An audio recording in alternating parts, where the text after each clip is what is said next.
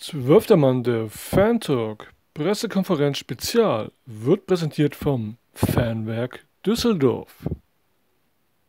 Ja, herzlich willkommen, meine lieben Fußballfreunde, zum Zwölfter Mann der Fan-Talk Pressekonferenz Spezial am Donnerstagabend. Ja, Freunde, was soll ich sagen? Heute Nachmittag hat Daniel Thune die Pressekonferenz abgehalten. Es gab so einige Fragen, gerade auch bezüglich der verletzten Spieler der Fortuna.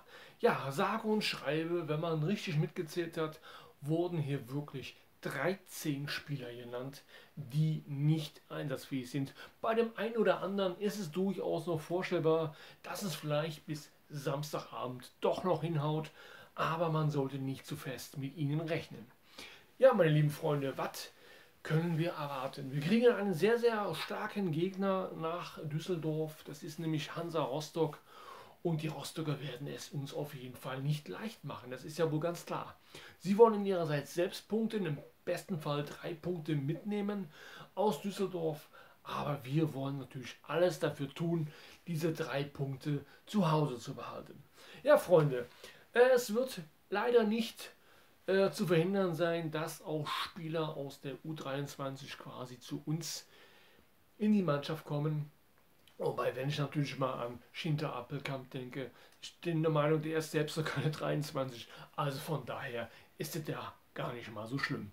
Nano Ampoma ist im Gespräch und Emanuel Eoa ebenfalls. Ja, wir bleiben sehr, sehr gespannt. Wir hoffen natürlich darauf, dass wirklich 25.000 Fans ins Stadion strömen. Und wir wollen natürlich unsere Fortuna komplett supporten, komplett unterstützen. Ja, Freunde, bleibt spannend, was eventuell am Samstagabend passiert. Wir freuen uns drauf. Äh, für alle, die keinen Sky haben, äh, hier nochmal ein ganz heißer Tipp von mir.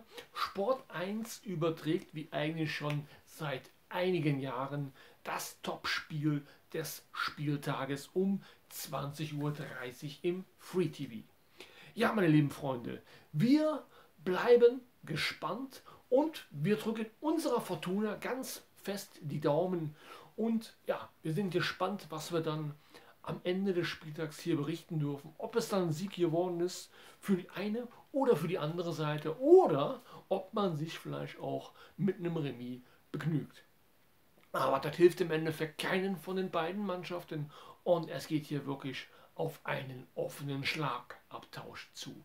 Freunde, bleibt dem Fußball gewogen, bleibt uns gewogen. Vielen Dank fürs Zuschauen. Auf bald, machet gut, euer Jan.